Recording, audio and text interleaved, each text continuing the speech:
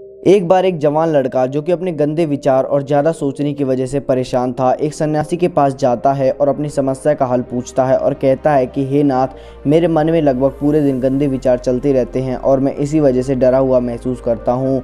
गुरुजी, आप ही मेरी समस्या का समाधान करें। सन्यासी जी बड़ी कोमलता के साथ जवाब देते हुए कहते हैं कि, अगर तुम्हें अपने मन को शांत करना है तो सबसे पहले मन को शांत करने की इच्छा को छोड़ दो। उसके बाद इन छह सूत्रों को अपने जीवन में उतारो और एक बात और, कोई दो चार दिन में तुम्हारे मन से नकारात्मक विचार नहीं निकलेंगे। ये एक लंबी प्रक्रिया है। इसमें तुम्हें समय देना ही होगा। अन्यथा सब व्यर्थ है। लड़का कहता है कि, हे नाथ, मैं समय देने के लिए तैयार हूँ। आप बस मुझे विस्तार पूर्वक उन छह सूत्रों के बारे में बताइए, जिनसे मेरा मन साफ़, स्वच्छ व शुद्ध हो सकता है। महात्मा जी कहते हैं, चलो एक एक करके छह सूत्रों के बारे में जान लेते हैं। सबसे पहले तुम्हें उन लोगों का साथ छोड़ना है, जो तुम्हें गिरा हुआ कमज़ोर, डरपोक और गंदा समझते हैं, जो तुम्हें अपने आगे नहीं लगाते, चाहे वो कितने भी खास हो। बस उनका तब तक के लिए साथ छोड़ दो। जब तक तुम्हारा तुम्हारा मन अगले पाँच सूत्रों को फॉलो करने से साफ़ ना हो जाए। दूसरा, फालतू की चीज़ों से दूर रहो, चाहे वो कोई व्यक्ति हो, सामान हो या फिर वीडियो। फालतू के मित्र मत बनाओ। ऐसा कहा जाता है कि माता पिता के बाद आपके चरित्र का निर्माण करने में सबसे महत्वपूर्ण योगदान मित्रों का होता है। इसलिए चरित्रहीन मित्र मत बनाओ, कम मित्र बनाओ, लेकिन उन्हें बनाओ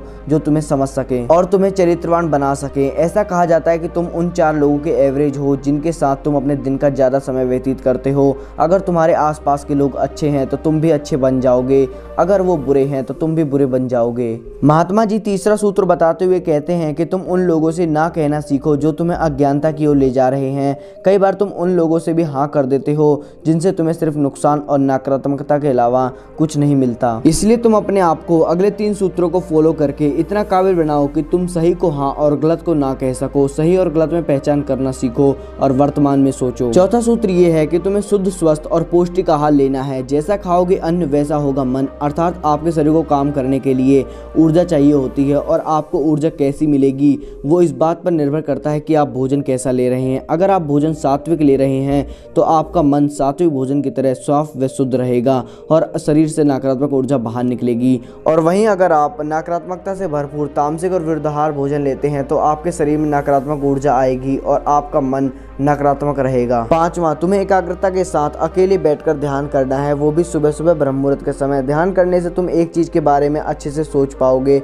और तुम्हारा मन इधर उधर नहीं भटकेगा और तुम अपने दिमाग से सही और सटीक निर्णय ले पाओगे और उसके साथ साथ तुम्हें अखंड ब्रह्मचर्य का पालन करना है। चार नियम है अखंड ब्रह्मचारी बनने के।